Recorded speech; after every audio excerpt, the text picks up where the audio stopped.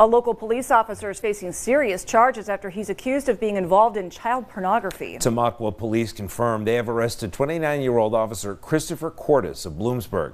Cordes is looking at 21 charges, including child pornography and unlawful contact with minors on social media. Police say Cordes was found posting images of inappropriate material, including child pornography.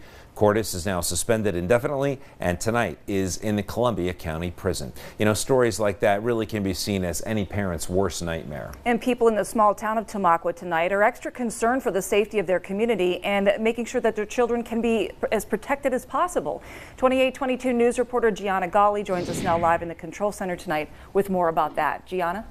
Candace Nick, good evening. Police say the Tamaqua officer was soliciting minors on Snapchat. A family at a local park in the small town who I spoke with is surprised to hear that a leader in their community who should be able to be trusted has been accused of such a crime.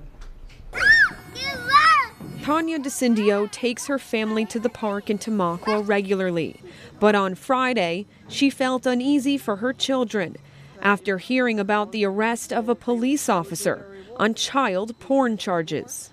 I loved growing up here my entire life, but I mean, it just really makes you second guess anything. Tamaqua officer Christopher Cordes is facing 21 charges of child pornography.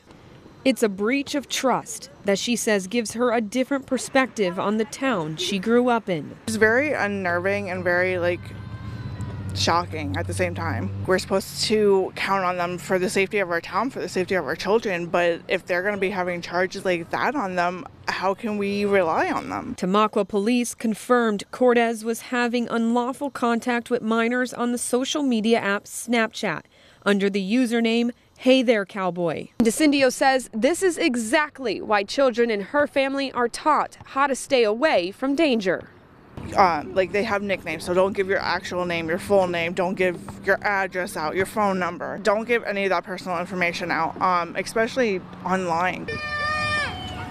The fear of something like this happening has even made DeCindio educate her kids at home. Honestly, part of the reason why I we homeschool the girls, like, because we're so like you don't know what they're gonna face in school, you don't know what they're gonna face at, here at the park now. So, I mean, from like my childhood to see how it's changed it is just like whatever happened and it's very heartbreaking Cordes has been suspended indefinitely without pay. He remains in the Columbia County Prison on a $250,000 bail. We do have a statement from the Tamaqua Police Chief, and you can read that by going to pahomepage.com. In the Control Center, Gianna Golly, 2822 News. Nick Candace. All right, Gianna, thanks for the update there.